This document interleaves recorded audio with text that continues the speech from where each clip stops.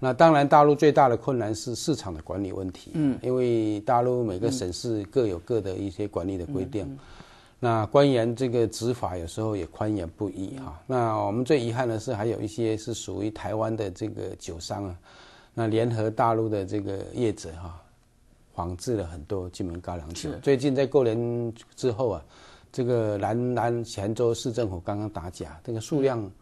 观察比我们真正的酒还多，嗯所以这是金酒在大陆布局最大的一个隐忧了。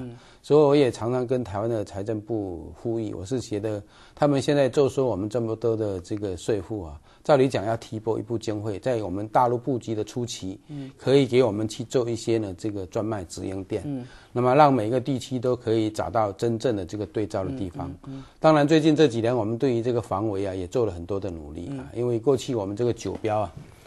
都是由民间的这个业者哈来承揽。那我就任县长之后，我觉得这个酒的这个安全呢，它的真真实是不容有任何的折扣。所以尽管这个我们委托中央印制厂来印制的价钱高出很多，但是它就像印制钞票一样，里面有各种防伪。那当然防伪的这个说明啊，在我们这个酒标后面都会附注在那里面。